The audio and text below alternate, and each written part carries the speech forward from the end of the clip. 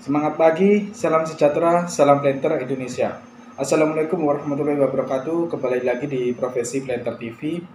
Kali ini saya akan membahas pertanyaan para subscriber yang mana hal ini perlu di saya paparkan di sini supaya bisa tidak tidak salah kata untuk para sahabat-sahabat tani di Indonesia khususnya ya.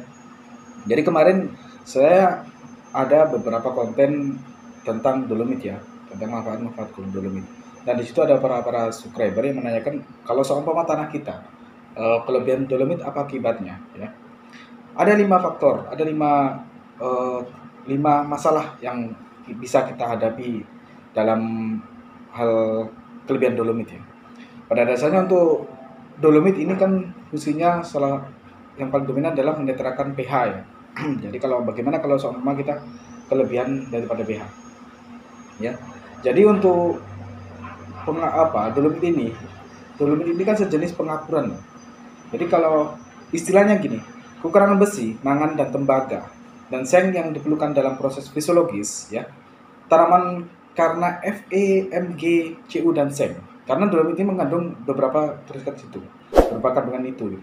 Terikat erat atau senyawa dengan unsur kapur, kapur ataupun dolomit sehingga tidak dapat diserap oleh akar tanaman lagi. Jadi kalau soal kekurangan besi, ini kan termasuk besi dia. Kalau soal tanah dia kekurangan besi, kemudian tembaga seng yang diperlukan pada fisiologis tanaman, karena kandungan Fe, Mg, Cu dan seng terikat erat bersenyawa, ya bersenyawa dengan unsur hara kapur, ya. Kalau seumpama sudah unsur hara unsur hara Fe, Mg, ya, Cu dan seng dia sudah terikat oleh unsur dolomit tersebut, maka yang terjadi adalah kandungan-kandungan unsur hara yang tadi itu tidak dapat diserap oleh tanaman lagi. Seperti itu. Itu yang pertama ya. Kemudian yang kedua. Kedua permasalahan untuk kalau koil kita kelebihan daripada dolomit yang pertama adalah tersedianya fosfat ya. Menjadi berkurang ya. Jadi fosfat fosfat atau fosfor kandungan fosfor yang ada di dalam tanah dia menjadi kurang dia kembali karena terbentuknya kompleks antara kalsium fosfat dan kalsium fosfat dia tidak larut. Jadi akibat dari dolomit ini ya fosfor menjadi berkurang dan dia kembali lagi terbentuknya kompleks kalsium fosfat tidak larut gitu. Nah, maksudnya. Jadi TSP ini dia tidak kehilangan TSP kita gitu, kehilangan fosfor tanah tersebut kalau seumpama kita kelebihan daripada dolomit tersebut gitu ya. Kemudian yang ketiga akan terjadi absorpsi atau penyerapan fosfor oleh ta oleh tanaman ya. Oleh tanaman sangat sulit sehingga menyebabkan metabolisme tanaman menjadi istilahnya menjadi kerdil gitu ya. Menjadi kerdil ini harus kita harus kita pahami ya. Kita pahami. Supaya apa? Supaya kita tidak tidak istilahnya tidak uh, tidak bermasalah gitu ya. Tidak bermasalah. Supaya kita bisa istilahnya bisa bisa kita uh, kita tangani gitu. Itu yang ketiga ya. Kemudian yang keempat penggang dapat pengambilan boron ya, atau penggunaan boron dia dapat terhambat dari kategori uh, boron ini bisa terhambat dia. Kadang-kala kalau kita tanah sudah ada kandungan boron ini akan terserang terhambat dia uh, oleh oleh uh, dolomit gitu ya. Kemudian ini yang kelima yang faktor paling penting ya. Perubahan pH yang melonjak ya, dapat merugikan terhadap aktivitas mikroekonomis tanah dan ketersediaan unsur hara yang tidak seimbang jadi istilahnya gini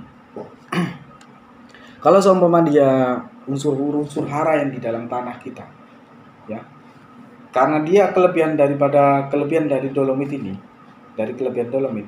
Jadi aktivitas mikroorganisme yang di dalam tanah dia akan berkurang ketersediaan unsur haranya. Unsur hara yang tidak terseimbang seperti itu ya. Berkaitan dengan melonjaknya pH melonjaknya pH yang dapat merugikan aktivitas mikroba ya, mikroba tanah. Ini sangat penting ya, sangat penting. Karena mikroba yang ada di dalam tanah ini sangat-sangat e, berperan penting terhadap tanaman. Ya. Karena dari mikroba, mikroba tersebut di, kita bisa mikroba ini bisa menimbulkan unsur hara gitu. Bisa menimbulkan unsur hara yang dibutuhkan oleh tanaman. Jadi kalau kita sama kita beli dolomit kelebihan ya, dolomit kelebihan, maka dia mikroba mikroba ini akan mati dia. Dan susah untuk tanaman berakibatnya tanaman dia bisa kerdil karena kekurangan unsur hara tadi tadi gitu. Jadi para para sahabat-sahabat planter di samping dengan apa manfaat-manfaat daripada dolomit, kita harus me, harus tahu dulu apa fungsi daripada dolomit itu gitu ya. Makanya kalau tanah sudah unsurannya sudah cukup, maka eh, dolomit ini harus kita harus kita tinjau kembali gitu. Perlu nggak dia kayak gitu ya. Dan saya review kembali, ya perlu penting. Fungsi dolomit adalah menaikkan atau menetralkan pH tanah. Itu yang paling penting, ya. Kemudian dalam kandungan unsur hara pada unsur-unsur pada dolomit ini dia ada kandungan e, Ca dan Mg, ya Ca dan Mg. Jadi kalau tahu tanah kemudian kurang Ca dan Mg bisa gitu, ya. Kemudian e, membantu tadi pelapukan dari unsur-unsur hara P dan MO, gitu ya kayak gitu jadi hal-hal kayak gini harus tahu kita ya selanjutnya hal lain yang bisa berperan penting untuk dolomit ini adalah mengurangi keracunan Fe, Mn dan Hl. Fe ini adalah besi. Ya. Kandungan besi yang paling banyak dia di tanah gambut, tanah gambut maupun areal e, rawa ataupun areal-areal yang bekas tergenang. Itu biasanya kandungan Fe, Mn, mangan ya dan Al itu perlu. Karena tanah tersebut dia selalu dia terairi ya. Kemudian terlalu asam itulah yang bisa mengandung kandungan Fe ya. Seperti itu.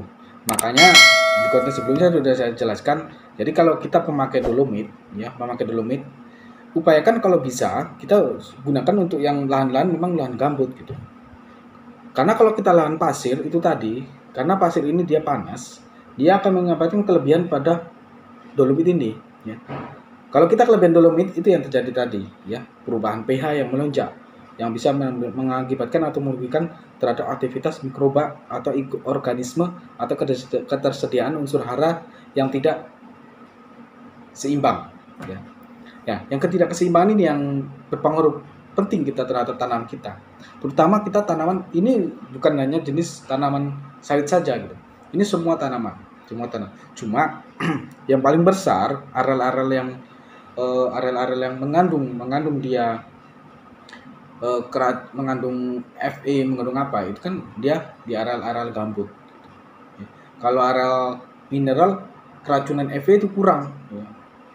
Zat besi itu kurang kalau kita di di areal apa di areal mineral seperti itu ya. Oke mungkin itu aja uh, pemaparan dari kami untuk efek samping dari kelebihan daripada dolomit. Mudah-mudahan ini bermanfaat bagi sahabat planter. Salam planter Indonesia.